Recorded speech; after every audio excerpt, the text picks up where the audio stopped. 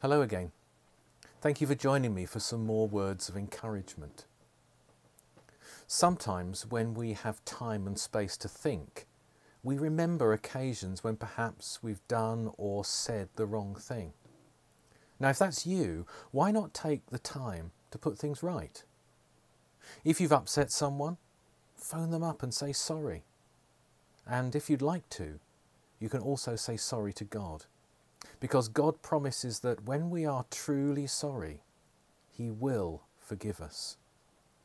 But whether it's a family member, a friend, or God, you could experience the joy of forgiveness today.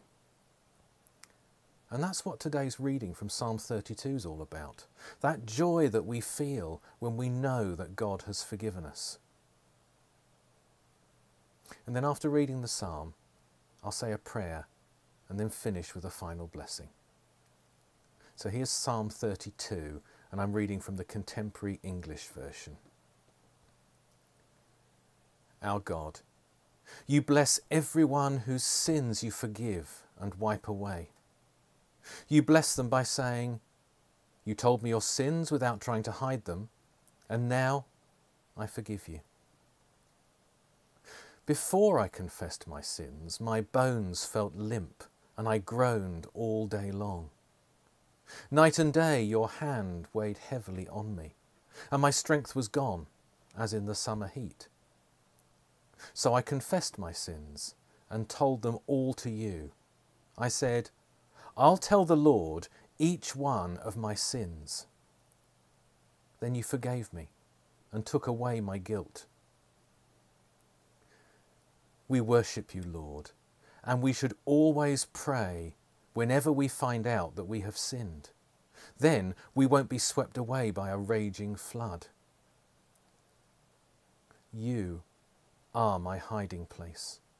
You protect me from trouble and you put songs in my heart because you have saved me. You said to me, I will point out the road that you should follow. I will be your teacher and watch over you. Don't be stupid like horses and mules that must be led with ropes to make them obey. All kinds of troubles will strike the wicked, but your kindness shields those who trust in you, Lord.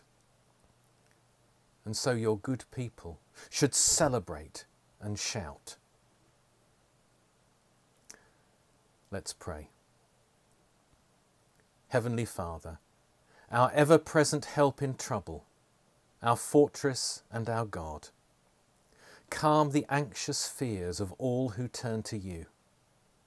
Give strength and healing to those who are sick and courage and skill to those who care for them.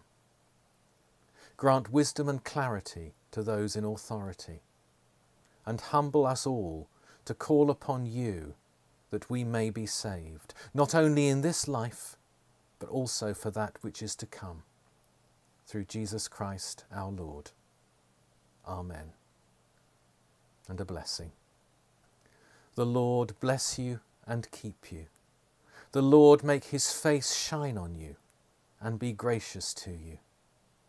The Lord turn his face towards you and give you peace. Amen.